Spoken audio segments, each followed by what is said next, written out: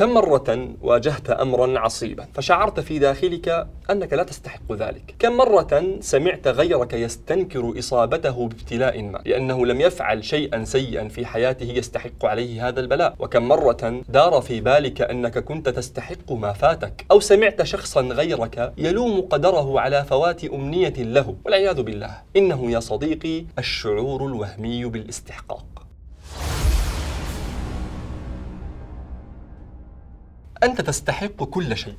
تستحق أن تفوز دائم تستحق أن لا تعاني ألا تحزن أو تفقد. لكن لربما لم تسأل نفسك لماذا تتوهم أنك تستحق هذا من الأصل؟ فالمؤمن يعلم أنه ملك لله وأن الكون كله ملك له سبحانه وأن الملك المالك لا يسأل عما يفعل وهم يسألون. لكن يبدو أن عصرنا قد شابته شائبة التمركز حول الذات. أو عبادة المشاعر بتعبير عالم الاجتماع الفرنسي ميشيل لاكروا فصار الواحد منا يقيم الأمور بحسب موافقتها لمشاعره. لا بحسب حقيقتها. وفي ظل منظومة كتلك تختفي الكثير من القيم الإيمانية التي يحتاجها المؤمن فلا يشعر باصطفاء الله له عند البلاء ليصبر وترفع درجته أو بمنته عليه بالنعمة ليشكره وينال البركة. فتلك معان أكبر من الإنسان ولا تمنحها له ذاته. وما دام كلنا يؤمن بالله وباليوم الآخر ونؤمن بخلود الآخرة وفناء الدنيا فكيف يتوه عن بال أحدنا أنه ما منح ولا منع إلا ليختبر وأنه مبتلى بالخير والشر فتنة